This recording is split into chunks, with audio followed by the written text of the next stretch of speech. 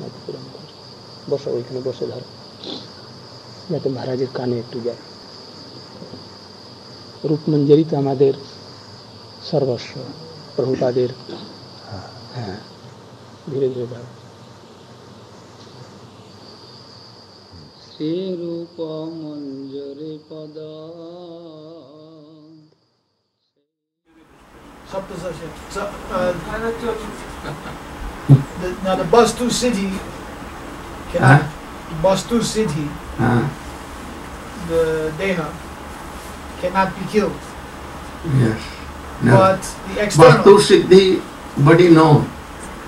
If anyone has attained Vastu Siddhi and that transcendental body he has attained, then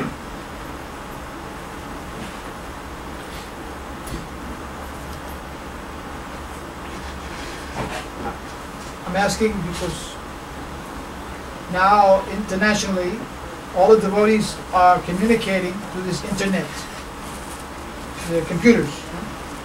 So there's debate going on if it's possible that a uh, Mahabhagavat, uh, very high uh, uh, Vaishnav guru, can be poisoned or killed, never. Never. Or just externally, the body can be If he is playing a lila like that, he can show by magic.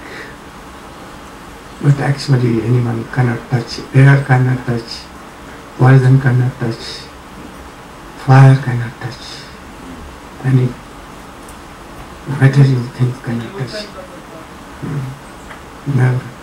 If he is leaving only because Krishna has called him.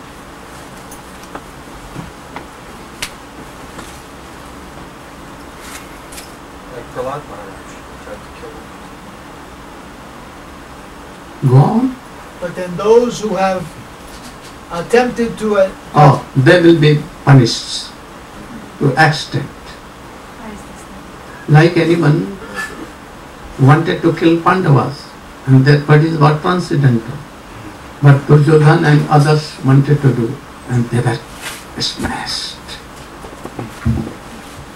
By Dur- uh, what Dushasana Dushasana. and others.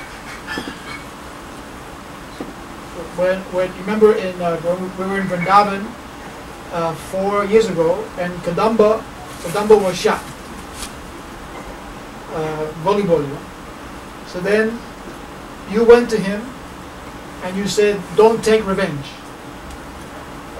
Now You remember? You were with me? Sometimes. Ah. So this point is this also true uh, for the disciples of Swamiji? Not to take revenge. If they are qualified, otherwise they cannot take it. Never they can touch.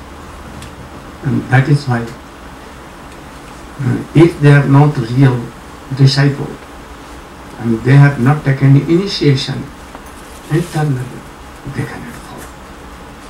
Never. You should hear only and try to develop.